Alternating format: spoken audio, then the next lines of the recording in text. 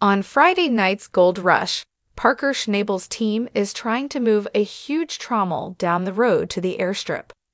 Our exclusive clip opens at Indian Creek as Stephen Selliers is moving on out, carrying a heavy and huge hunk of machinery on his truck bed, as boss Parker Schnabel follows him in his pickup truck.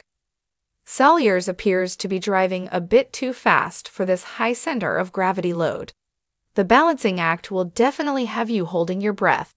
The twisty rough road has jostled the weighty cargo so much that the moorings and metal chains holding onto the truck are starting to fail. The clip ends with a lot of shouting, which is never good. Revisiting the last gold rush according to Tony Beets, gold is currently topping $1,900 an ounce, and the heat is on. Elkhorn claims Fred Lewis checked in with a gung ho attitude, but little to show for it. One of his men, Kyle Pletzk, proved his mettle to Fred as we learned more of his military service and how he overcame a serious injury. But Fred was beset by one mechanical disaster after another, including clogged hopper issues. Up in Paradise Hill, Tony Beets was called upon by Parker Schnabel to help with his season.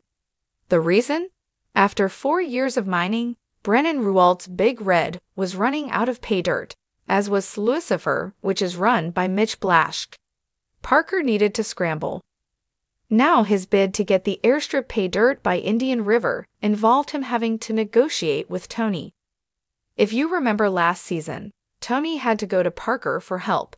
It went south. Now the tables turned for Parker.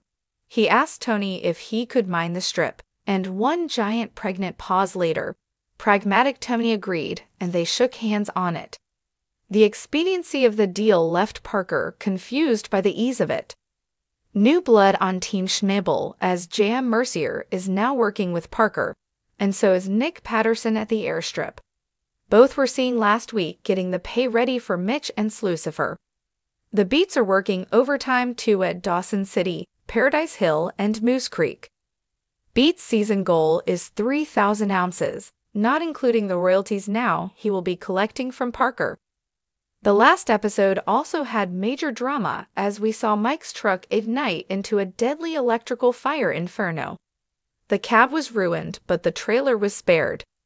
Tune in to see how the airstrip work is going as Parker's team has to secure the trommel and get Slucifer down to the new pay. Gold Rush will air this Friday at 8 p.m. on Discovery.